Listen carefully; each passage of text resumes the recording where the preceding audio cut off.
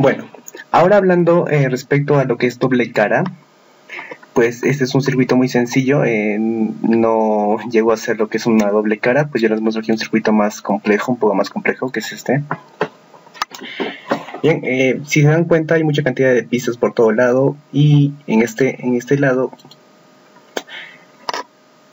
pues tengo que unir el pin 3 que corresponde a una batería con el pin 8 que corresponde a estos espadines pues no hay manera de llevarlo hasta este lugar pues puedo ir por aquí.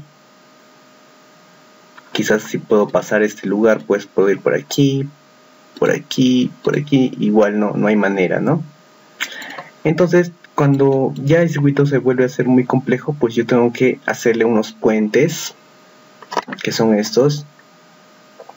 Pero cuando el circuito es mucho más complejo y, y, tiene la necesidad de hacer muchos puentes y no rectos como estos, porque eso puede reemplazar por un simple cable recto y de repente tiene que ser eh, así, digamos así,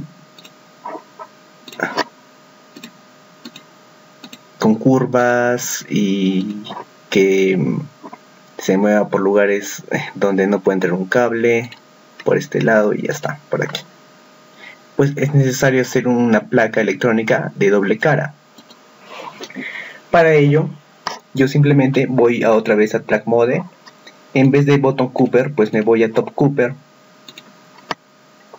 y genera una línea roja que, viene a ser la placa eh, superior, las pistas superiores. Bien, como hago una doble cara? Pues eh, para la comodidad para ustedes cuando hacen eh, su quemado de placas por el método más sencillo que es el método de planchado pues yo les recomiendo que primero entren a botón Cooper, hagan, un pequeño, eh, una pequeña línea, un pequeño layout, hasta aquí.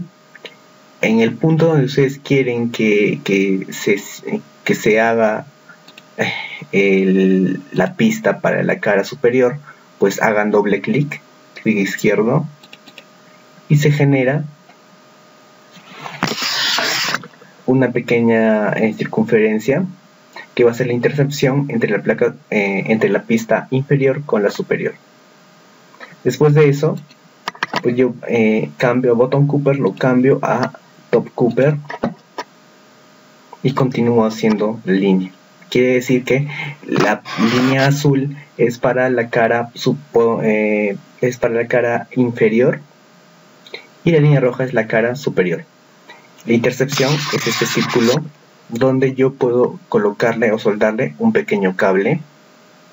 Si es que nosotros eh, lo hacemos de una manera muy económica, si tenemos eh, un poco de más dinero y tenemos una fábrica que elabore este tipo de placas, pues en vez de un cable soldado como intercepción, pues le ponen un anillo de cobre y se ve mucho más estético.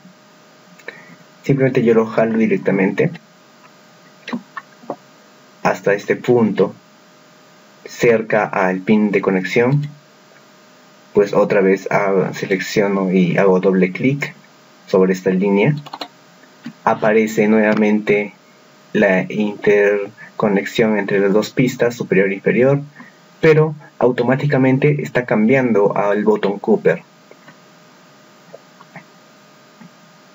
Nos ayuda Proteus en esto si se dan cuenta, cuando yo hago una línea de botón Cooper sobre estas líneas de acá, así,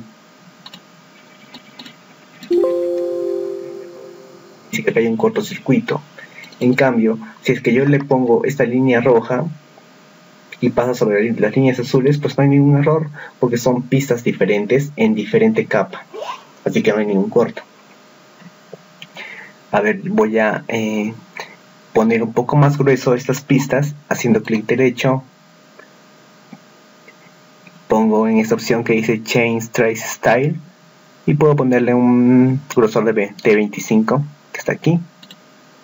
Ahora pues yo estas intercepciones puedo hacerlas más grandes yendo en este lado que dice vía mode puedo seleccionar esta vía de B50 que es un poco más grande. A ver aquí la reemplazo colocándolo justamente en su mismo radio, igual de esa manera, lo reemplazo. Y también puedo generar nuevas vías, aumentándole un, digamos, un de 90, puedo aumentarle. Ya está, sale de este tamaño.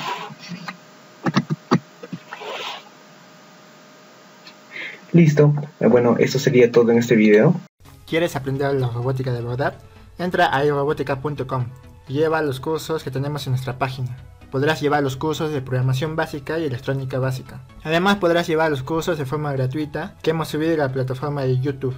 Podrás ver todos los videos que hemos subido de cada curso. Además podrás llevar los cursos como drones, diseño de robots bípedos, velocistas, cuadrúpedos y robots minisumos para que te prepares para alguna competencia. Además tendrás cursos de pago como el curso de SolidWorks orientado a la robótica en la que aprenderás a diseñar cualquier robot en SolidWorks. Lo tendrás listo para armar, desde los más básicos hasta los más avanzados.